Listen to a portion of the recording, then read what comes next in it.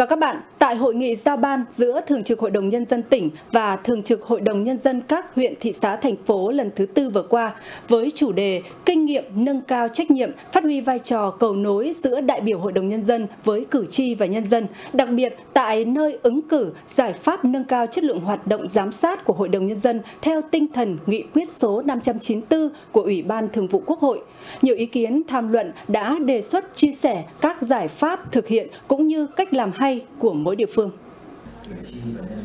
Nhiều kinh nghiệm ý kiến hay, tâm huyết với mong muốn ngày càng nâng cao hơn nữa trách nhiệm vai trò cầu nối giữa đại biểu Hội đồng Nhân dân với cử tri đã được chia sẻ nhằm thực hiện tốt hai nhiệm vụ là phản ánh trung thực ý kiến nguyện vọng kiến nghị của cử tri đến Hội đồng Nhân dân, Ủy ban Nhân dân và các cơ quan có thẩm quyền đưa các nghị quyết chính sách của Hội đồng Nhân dân vào cuộc sống. Ngoài các cuộc tiếp xúc cử tri thường lệ trước và sau kỳ họp cần tăng cường tổ chức các cuộc tiếp xúc cử tri theo chuyên đề hoặc tiếp xúc cử tri tại nơi công tác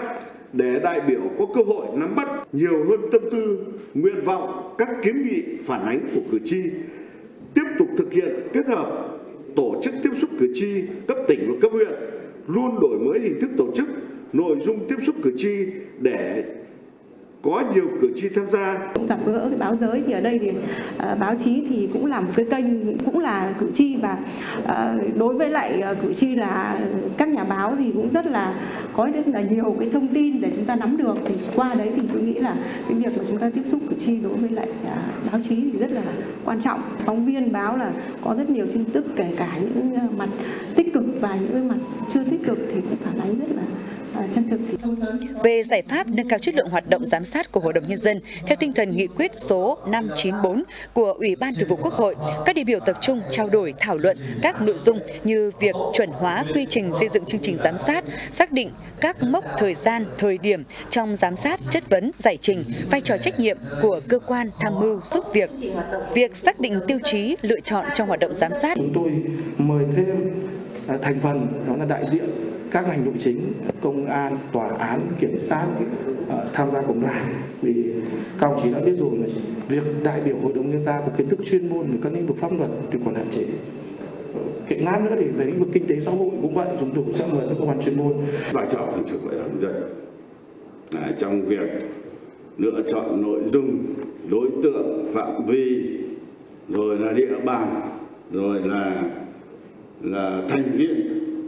đoàn giám sát thế xong rồi mới đến việc đến là cái đoàn đấy phải xây dựng kế hoạch rồi là cái đấy cưỡng những tham luận ý kiến đóng góp tại hội nghị có ý nghĩa quan trọng để nâng cao trách nhiệm, phát huy vai trò cầu nối giữa đại biểu Hội đồng Nhân dân với cử tri và nhân dân, đặc biệt tại nơi ứng cử trên địa bàn tỉnh trong thời gian tới. Bên cạnh đó, nhằm tiếp tục thiết lập cơ chế, khắc phục những khó khăn vướng mắc trong việc thực hiện chức năng giám sát của Hội đồng Nhân dân, giúp nâng cao hiệu quả giám sát thông qua việc chuẩn hóa chương trình giám sát, xác định tiêu chí lựa chọn trong hoạt động giám sát cũng như nâng cao chất lượng hiệu quả thực hiện nghị quyết, kết luận giám sát. Giám sát phải có nội dung trọng tâm trọng điểm. Những vấn đề cốt lõi của địa phương chúng ta lên giám sát. Mà tôi vẫn nói lại đây là nghị quyết của chúng ta ban hành ấy, thì đề nghị các đồng chí là giám sát ngay nghị quyết chúng ta ban hành liên quan các lĩnh vực để đồng chí giám sát. Thì chúng ta mới đôn đốc được tổ chức thực hiện. Chứ không có nghị quyết ra cứ khi là một năm các đồng chí mới động đến thì thưa các đồng chí là chúng ta không thúc đẩy được vấn đề tạo động lực để tổ chức thực hiện và phát triển. Vì chúng ta ban hành thì có quyền xem xét lại. Nếu mà chúng ta ban hành cũng là một cái nhiệm vụ nữa là sau khi nghị quyết chúng ta ra và đi vào cuộc sống thấy rằng mà nó không thể triển khai được hoặc nó có vấn đề thì chúng ta phải nghiên cứu để chúng ta điều chỉnh để cho sát phù hợp với điều kiện thực tiễn. Chủ tịch Hội đồng Nhân dân tỉnh Trần Quốc Toàn cũng đề nghị Thường trực Hội đồng Nhân dân cấp tỉnh, cấp huyện tiếp tục đổi mới hơn nữa hoạt động tiếp xúc cử tri, nhất là đổi mới về hình thức và nội dung tổ chức, tăng cường tiếp xúc cử tri theo chuyên đề, đổi mới cách thức truyền đạt thông tin, báo cáo, bảo đảm khoa học, ngắn gọn, đầy đủ, tạo không khí cởi mở, dân chủ, thẳng thắn, dành nhiều thời gian để cử tri phát biểu ý kiến, kiến nghị.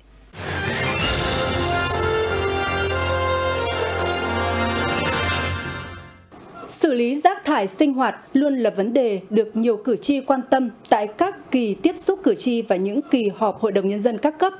Tuy vậy, để giải quyết vấn đề này, cùng với sự nỗ lực của tỉnh, các ngành liên quan thì cần có sự vào cuộc nâng cao ý thức của người dân. Theo Sở Tài nguyên và Môi trường, hiện nay, tổng lượng rác thải sinh hoạt dân sinh phát sinh trên địa bàn tỉnh khoảng 766 tấn một ngày. Tỷ lệ rác được xử lý bằng nhiều hình thức như đốt tại khu xử lý tập trung, trôn lấp tại bãi rác của thôn, xã, xử lý rác hữu cơ tại hộ gia đình, được khoảng 580 tấn trên ngày, đạt 76%. Như vậy, tình trạng tồn động rác thải chưa được xử lý đảm bảo vệ sinh gây ô nhiễm môi trường. Trước tình trạng trên, Ủy ban nhân dân tỉnh đã có thông báo số 449 năm 2022 về việc đẩy mạnh các giải pháp xử lý rác thải trên địa bàn tỉnh. Trong đó yêu cầu các doanh nghiệp trong lĩnh vực này nâng công suất thực tế, đẩy nhanh tiến độ xây dựng, lắp đặt thiết bị để sớm đưa vào vận hành, đồng thời chỉ đạo các ngành chức năng có những giải pháp khả thi để xử lý rác thải sinh hoạt, hạn chế tồn động các huyện thị xã thành phố đã chỉ đạo các xã địa các địa phương vận hành cái cái cái điểm tập kết cái bãi trôn lấp làm sao nó đảm bảo hợp vệ sinh. Thứ hai là tăng cường phun chế phẩm để giảm cái cái cái cái khối lượng rác đấy, mùi. Đề nghị các cái chủ đầu tư là phải cam kết với tỉnh về cái tiến độ hoàn thành các cái dự án cũng như là các cái dự án uh, nâng cấp mở rộng. Các cái uh, uh, mở rộng cái công suất đốt rác thải. Ờ, để trong thời gian tới thì cái rác thải trên địa bàn tỉnh được thu gom xử lý đảm bảo cái vệ sinh môi trường. Trước mắt để khắc phục tình trạng ồn ứ rác thải đảm bảo vệ sinh môi trường, các địa phương và người dân cần đẩy mạnh phân loại xử lý rác thải, phải vận chuyển, xử lý, đổ rác đúng quy định, đồng thời kiểm tra xử lý rứt điểm. Các điểm đổ rác không đúng quy định, tăng cường quản lý, vận hành các điểm tập kết, trôn lấp rác thải, thường xuyên phun hóa chất, vệ sinh xử lý rác, Tại các buổi tiếp xúc cử tri của đại biểu Hội đồng Nhân dân tỉnh ở các địa phương, nhiều cử tri đã kiến nghị cần bổ sung thêm một phó trưởng thôn ở các thôn loại 1. Bởi hiện nay một số thôn dân số đông nhưng chỉ có một phó trưởng thôn, vì vậy khó khăn trong thực hiện nhiệm vụ. Thôn Niên Lịch, xã Dân Tiến, huyện Quái Châu có trên 3.500 dân với trên 1.000 hộ và khoảng 7.000 dân số cơ học lưu trú. Với dân số đông, địa bàn rộng và nhiều việc phát sinh về sản xuất an ninh trật tự môi trường xây dựng nông thôn mới, thực hiện các hương ước quy ước của thôn. Nhưng chỉ có một phó trưởng thôn giúp việc cho trưởng thôn. Do vậy, công việc rất vất vả, khó bao quát hết công việc được giao, nhất là các việc đột xuất. Một mình tôi là phải gánh vác tất cả từ ngoài đồng đến trong làng. Như trước ấy là có một phó thôn là đảm nhiệm riêng về bên khu vực của ngoài đồng và một phó thôn là chuyên là khu vực an ninh, trật tự và thu gom rác thải ở trong trong khu vực thôn. Làm cả ngày cả tối mới mới đảm nhiệm cho nó tương đối hoàn chỉnh, tôi cũng chưa thể hoàn chỉnh hết được. Là vì thôn, trên thôn loại một, nhưng mà hiện nay chỉ được hưởng thôn loại một thôi, chỉ một phó thôn thôi, rất nặng so với những ờ, thôn loại một thì thôn người ta chỉ có 500 hộ thôi người ta cũng được một phó thôn hơn một nghìn hộ thì cũng được một thôn trong suốt thời gian qua, tình hình dịch bệnh diễn biến hết sức phức tạp, bên cạnh đó tình hình an ninh trật tự, môi trường diễn biến phức tạp, đồng thời phối hợp với ban công tác mặt trận và các tổ chức chính trị xã hội ở thôn để vận động nhân dân tham gia thực hiện các phong trào và cuộc vận động, nên vai trò của người trưởng thôn, phó trưởng thôn rất quan trọng. Khi chính họ là những chủ thể được giao quyền và nghĩa vụ nắm bắt quản lý mọi hoạt động diễn ra trên địa bàn cơ sở thôn thì nó cũng như là một cấp chính quyền thu nhỏ từ an sinh xã hội đến an ninh chính trị trật tự an toàn xã hội. Nếu như chúng tôi giao việc thì bao giờ cũng phải tăng thêm thời gian. Bên riêng thôn nhân địch bao giờ cũng phải gia cố thêm một chút thời gian nữa thì các đồng chí mới hoàn thành nhiệm vụ. Ông Nguyễn Trần Sơn, trưởng thôn Trai Trang, thị trấn Yên Mỹ, huyện Yên Mỹ, nơi có trên 8.700 dân số. Mặc dù đã chia sẻ công việc với phó trưởng thôn, nhưng ngày nào cũng vậy, từ sáng đến khuya, ông cũng lăn lộn khắp các thôn xóm để nắm bắt tình hình, triển khai nhiệm vụ, các cấp giao phó, nhưng cũng chẳng hết việc bởi thôn đông nhiều việc. Mọi công việc của thôn ấy thì từ tỉnh, từ huyện đến thị trấn mà đưa công việc về thì có hai anh em thì làm việc rất là khó khăn. Người không có, đâm ra là chỉ có mỗi một trưởng thôn, một phó thôn mà điều hành là 8.700 dân là rất vất vả. Rất là mong muốn là hội đồng tỉnh có thể có kiến nghị lên các cơ quan cấp trên để sắp xếp thêm cho một đồng chí phó trưởng thôn nữa để giúp cho đồng chí trưởng thôn giải quyết các công việc của thôn nó thuận tiện hơn trong thời gian tới như vậy.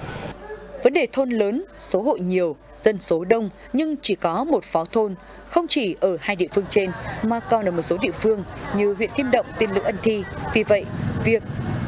các cử tri kiến nghị là cần thiết bởi những người làm công tác ở thôn là cán bộ công chuyên trách nhưng là đại diện cho ý chí nguyện vọng và quyền làm chủ của nhân dân địa phương, trực tiếp tổ chức thực hiện đường lối, chủ trương, chính sách của Đảng, pháp luật của nhà nước và các quyết định chỉ thị của cơ quan nhà nước cấp trên.